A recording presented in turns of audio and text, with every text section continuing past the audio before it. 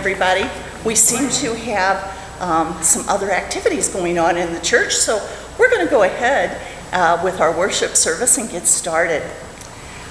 Uh, Silent night, holy night. All is calm, all is bright. I won't sing the whole song for you, but you know it very well. The last two phrases of this well loved Christmas carol sleep in heavenly peace, sleep in heavenly peace. The idea of all children sleeping in heavenly peace is a beautiful thought, but unfortunately not a reality. So much so that a national organization was formed called Sleep in Heavenly Peace. This organization fully believes that a bed is a basic need for the proper physical, emotional, and mental support that a child needs. All children deserve a safe, comfortable place to lay their heads. In Idaho and across the U.S., too many boys and girls go to sleep without a bed or even a pillow to sleep on. These children end up sleeping on couches, blankets, and even floors. This can affect their happiness and their health. That's where Sleep in Heavenly Peace comes in. They're a group of volunteers dedicated to building, assembling, and delivering top notch bunk beds to children and families in need. The organization has grown steadily over time, and they are working on opening more chapters in different states to serve more people. We are lucky to have one of those chapters in Alton, Illinois. They serve Bethalto, Brighton, Cottage Hills, Dow, Godfrey, Hartford, Jerseyville, Moro, Roxana, and Wood River, besides Alton itself. So how does this happen? It starts with businesses or individuals donating building materials and bedding. It continues when volunteers organize a, bid, a build day and come to the chapter's facility to learn and then build wooden bunk beds themselves. There is an application process that allows individuals in need for a bed, and when those are received and the beds are ready, delivery days are scheduled. You may have seen some of those days that I've posted on our Facebook page. The smiles say it all. This month, we have been collecting bedding for twin size bunk beds. The bins are in the meeting area and will continue to be there through next Sunday. If you're able, please consider purchasing a pillow, comforter, or sheets and deposit them in the bin. If you can't get out to make a purchase, please consider a monetary donation and just put Sleep in Heavenly Peace in the memo line. These donations will go towards the mattresses that are needed to put on the beds on delivery day. Thank you for your consideration. One day, we hope that all communities will be able to say, no kids sleep on the floor in our town. Thank you.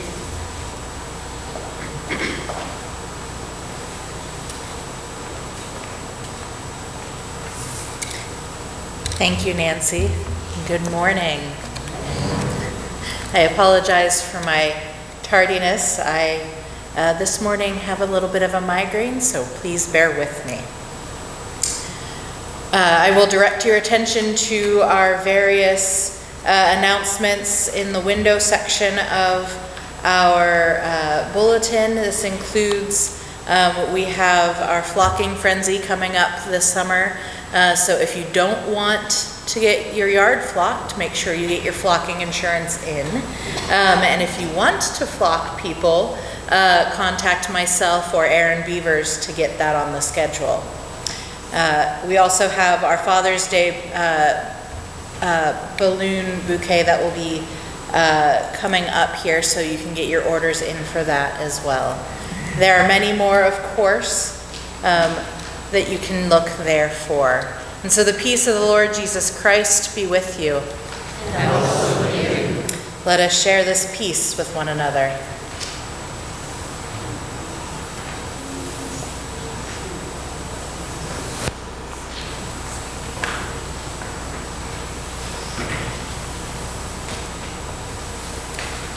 Let us prepare our hearts and minds for the worship of God.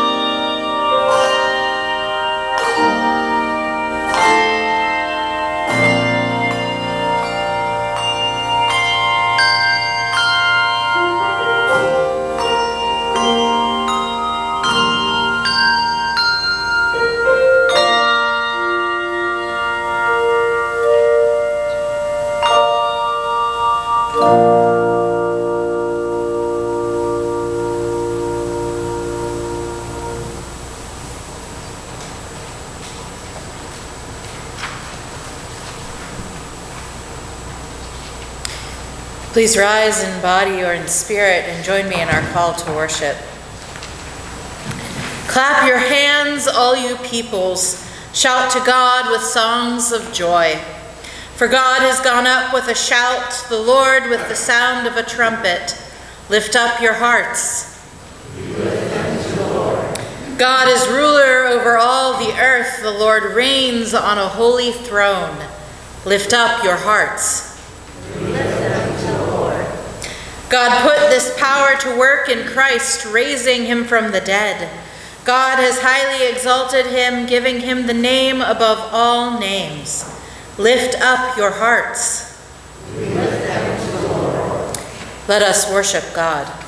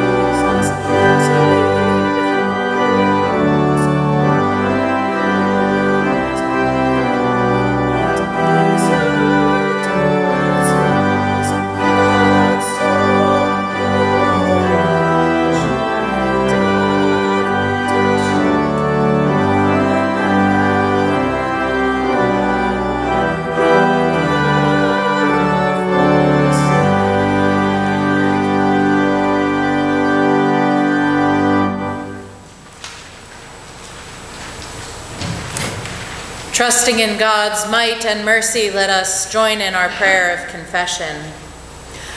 Almighty God, you have raised Jesus from death to life and crowned him Lord of all.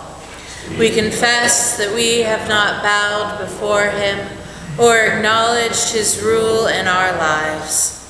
We have gone along with the ways of the world and have failed to give him glory. Forgive us and raise us from sin, that we may be your faithful people, obeying the command of our Lord Jesus Christ, who rules the world and is head of the church, the body. Friends, the God of all grace, who calls us to eternal glory in Jesus Christ, will restore, support, and strengthen us. In the name of Jesus Christ, we are forgiven. Thanks be to God.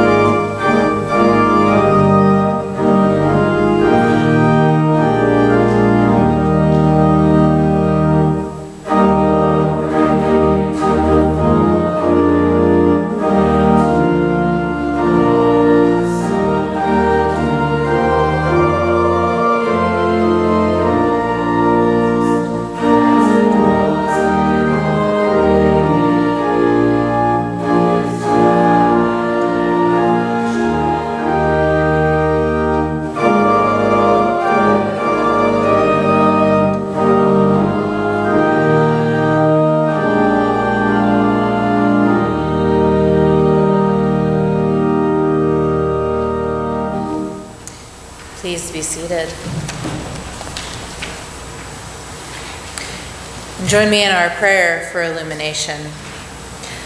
God Most High, reigning in glory, send down your spirit of wisdom to shine in your heavenly word, so that we may worship you with joy, continually blessing your name. Through Jesus Christ our Lord. Amen. Our first scripture reading this morning comes from the book of Acts, chapter 1. Listen for the word of the Lord. So when they had come together, they asked him, Lord, is this the time when you will restore the kingdom to Israel? He replied, It is not for you to know the times or periods that the Father has set by his own authority. But you will receive power when the Holy Spirit has come upon you, and you will be my witnesses in Jerusalem, and all Judea and Samaria, and to the ends of the earth. When he had said this, as they were watching, he was lifted up, and a cloud took him out of their sight. While he was going and they were gazing up toward heaven, suddenly two men in white robes stood by them. They said, Men of Galilee, why do you stand looking up toward heaven? This Jesus who has been taken up from you into heaven will come in the same way as you saw him go into heaven. Then they returned to Jerusalem from the mount called Olivet, which is near Jerusalem, a Sabbath day's journey away. When they had entered the city, they went to the room upstairs where they were staying. Peter and John and James and Andrew, Philip and Thomas, Bartholomew and Matthew, James, son of Alphaeus, and Simon the Zealot, and Judas, son of James. All these were constantly devoting themselves to prayer, together with certain women, including Mary, the mother of Jesus, as well as his brothers. The word of the Lord. Thanks be to God. Our second scripture reading comes from 1 Peter. Listen again for the word of the Lord. Beloved, do not be surprised at the fiery ordeal that is taking place among you to test you, as though something strange were happening to you. But rejoice insofar as you are sharing Christ's sufferings, so that you may also be glad and shout for joy when his glory is revealed. If you are reviled for the name of Christ, you are blessed, because the Spirit of glory, which is the Spirit of God, is resting on you. Humble yourselves, therefore, under the mighty hand of God, so that he may exalt you in due time. Cast all your anxiety on him, because he cares for you. Discipline yourselves. Keep alert.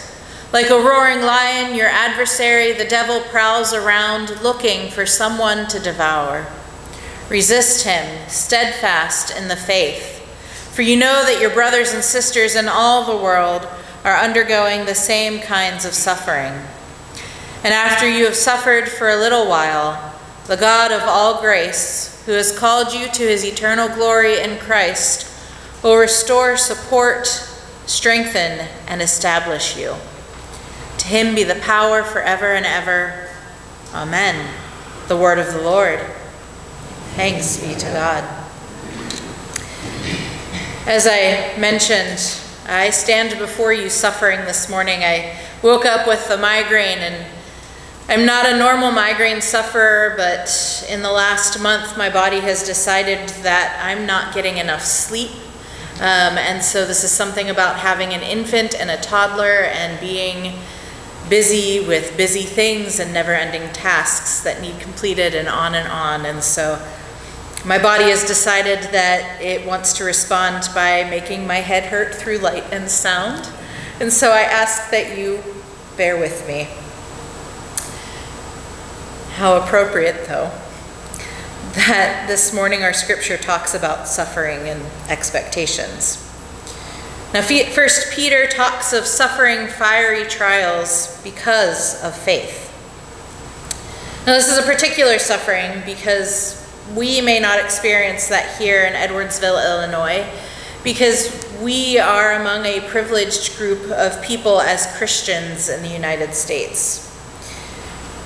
We are guaranteed freedom of religion within our national documents, but in the time that First Peter is written, they are in the Roman Empire, and in the Roman Empire, you can believe what you want to believe, but if you go outside of that and begin doing things that express what it is you believe, uh, and if they go anywhere against anything that the empire is doing to build up the power and authority of the empire, well, you might meet your end in violence on a cross in the name of keeping peace. You see, authority and power belong to Caesar and the Roman Empire, and if you say anything differently or do anything differently to begin making people think that maybe Caesar is not all knowing and all powerful and God, that perhaps the Roman Empire is not divinely ordained, then you are an enemy of the state. This is one of the reasons why Jesus is persecuted so easily, perhaps because he assures people that authority is not in Rome or in Caesar, but in God and God alone. Jesus and the early church weren't persecuted exclusively for believing in Jesus, but rather that they preached, that they shared the good news to those who lack resources, that they preached freedom to people who were in prison, that they promised accessibility to those who have disabilities. The apostles were rejecting conformity with a system in a society where power structures benefit from the oppression of others. They were telling those who were oppressed that they would see a time where they would no longer be oppressed. They were saying that rather than a time when the wealthy continue to get wealthier and the poor continue to get poorer, that Jesus and the disciples were overturning the very, very way that this society was ordered. See, Rome's way of maintaining peace was through this force, death and violence. Respect of the empire was on par with being feared, gained by using force to silence those in need rather than to tend to and care for those in need. You can be your own person, but if you step out of line, you're in trouble.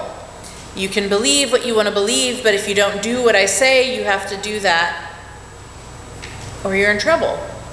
And trouble often meant death. So, this is the backdrop that we have to the ascension, to our Acts passage here. Jesus has been punished by Rome for giving these promises, among other reasons these promises of hope, these glimpses of what the kingdom of God might look like. We know that Jesus is not held down, of course, by death, but is resurrected and comes back to life and returns and spends time with the 11 remaining disciples and the others around to tell them how they are to be on earth and the next things to come. In Acts, we have a continuation of the Gospel of Luke. Luke is writing to Theophilus. This is presumably a leader of a, of a church in the region. You see, Luke shares in the first book, the Gospel of Luke, that Jesus, all that Jesus says and does until the ascension. So the second book then is the telling of the Acts of the Apostles. So Luke picked up by telling the ascension a second time It tells at the very end of the Gospel of Luke, and now its focus is on the disciples and that, what they do. So Jesus and the disciples are together, and he reminds them that John the Baptist baptized with water, but they will be baptized with the Holy Spirit. And the disciples immediately ask if this is when Jesus is going to restore the kingdom of Israel. The disciples are asking, Are you going to fix it all now, Jesus? Well, they're thinking about the concept of a big, strong, powerful Messiah coming in and destroying the powers of Rome so that there might once more be a kingdom of Israel instead of just Judea and Samaria and the ends of the earth. See, there's no Israel because it has been destroyed. But they clearly have not been listening to Jesus throughout his ministry because over and over and over and over and over again, Jesus has told them of methods that do not match those of big, brutal, violent kingdoms of earth that have claimed authority by force. Over and over again, Jesus is talking about loving neighbors and caring for those in need and subverting the idea that power comes through force.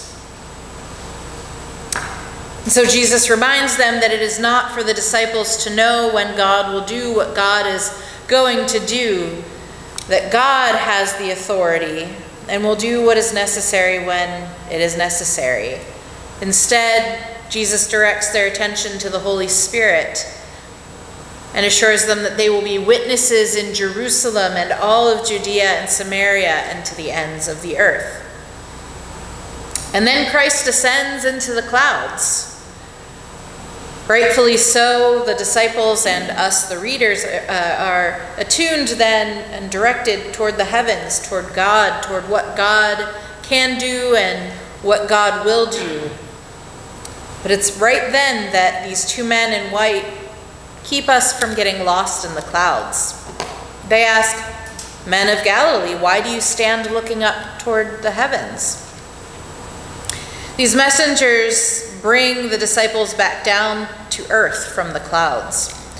They remind the disciples and us, the readers, that we don't yet get to go up into the clouds and wait, but that we are about doing the work too. They ground the disciples, if you will. What about now? What do we do now? Jesus has told them that they will be witnesses. The Holy Spirit will come and baptize them, and they will be witnesses. And so now the disciples are to move forward with what they have seen. So the disciples do what they do best they gather together in a room. They gathered together in the room after Jesus' death, and we see them gathered now as they stay together and they wait they support one another and they pray because Jesus has said that the Holy Spirit is coming. They are waiting and they are anticipating, but as we know, the book is called the Acts of the Disciples, uh, Acts of the Apostles. They are not still. Once the Holy Spirit hits them at Pentecost, the disciples, those certain women that are in the room with them praying, they are all on the move.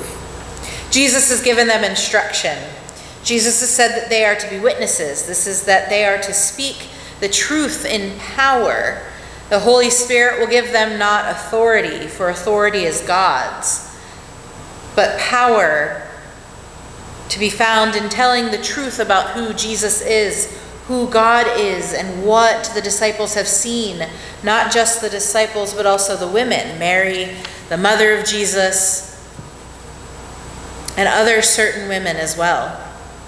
Of course, we're not given their names, but perhaps Mary Magdalene, perhaps Martha and Mary, and so many others.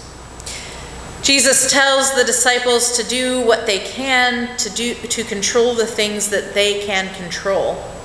They cannot control Rome, but they can control how they respond to the people that are being harmed by what Rome and society has determined to be the order of society. So they are to love God and to love their neighbors. And we know from the Gospels how Jesus instructed them to do this. Matthew 25 is a great spot to look if you need a short reminder to clothe the naked, to feed the hungry, provide beds for those who need beds, perhaps. From the rest of the book of Acts and from the many letters that we read in the New Testament, this is what we see them doing. They meet together, they travel together, they work together, they seek to witness to God's glory in the world. And so, too, we hope for the goodness of God for each and every individual that we meet. We hope for a time where there will not be suffering, no migraines, For now, while there is suffering, we remain firm in the faith because we know that we are not alone in our journey as followers of Christ. We work together because of the Holy Spirit. We have our witness, our life experiences, our testimony, our voices, our time, our talents, and our funds that we can and will use to bring light to the glory of God to point others toward the clouds and then back to the work here on earth. Remembering that the Spirit moves among us here. It is in this time and place that we work to bring relief and joy for the glory of God to those who are suffering and to love God and love our neighbors. Each week we say the words, Thy kingdom come, Thy will be done on earth as it is in heaven. Friends, we know that this world is not what it could be. And so we, along with the cloud of witnesses that have come before us, work for hope and peace and live in to the promise that God has the authority to make it so. In the name of the Father, Son, and Holy Spirit. Amen.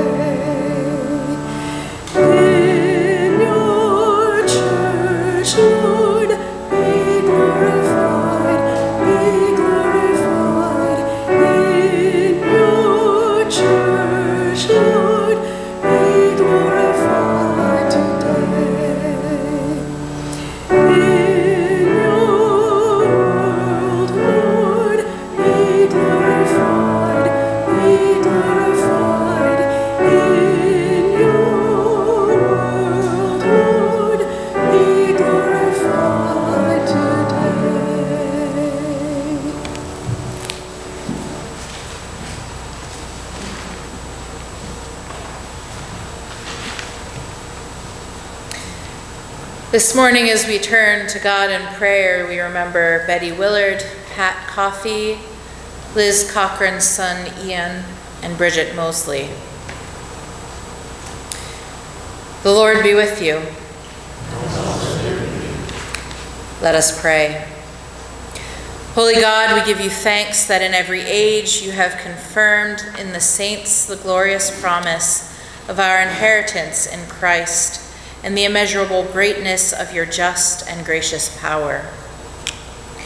It's because we remember the life and work of Christ, his ministry among the poor and forsaken, his death upon the cross of human shame, the victory of the empty tomb, and his ascension to glory, that we come before you in prayer for those in need.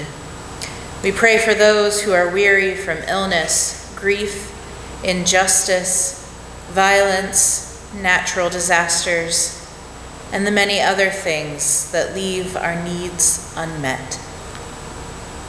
Because we remember the joy with which the disciples received the risen Christ, and that the Holy Spirit comes to accompany us and guide us, we too celebrate with those who rejoice for new jobs, for new beginnings, for good health, for the end of the school year and the joy that comes with anticipating summer trips and plans.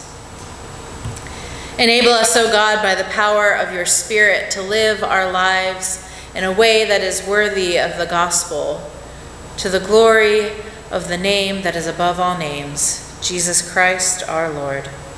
Amen. And now join me in our call to offering. The Apostle Peter writes, Praise be to the God and Father of our Lord Jesus Christ. In his great mercy, he has given us new birth into a living hope through the resurrection of Jesus Christ from the dead. Grateful for God's gift of new life, we offer our tithes and offerings to the Lord.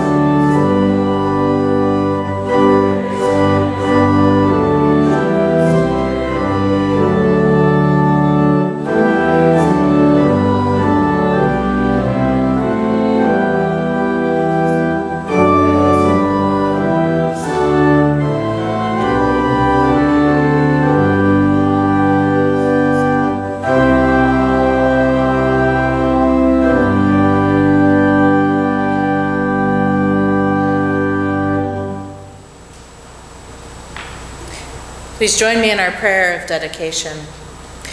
Gracious God, we commit our tithes and offerings, signs that our lives are committed to your purposes. Continue your work in us that we may bear good fruit, not neglecting the season of opportunity you place before us. When the time is ripe, through Jesus Christ our Lord, who taught his disciples when praying to say, Our Father, who art in kingdom, hallowed be thy name. Thy kingdom come, thy will be done, on earth as it is in heaven. Give us this day our daily bread, and forgive us our debts, as we forgive our debtors. And lead us not to temptation, but deliver us from evil. For thine is the kingdom, the power, and the glory forever. Amen.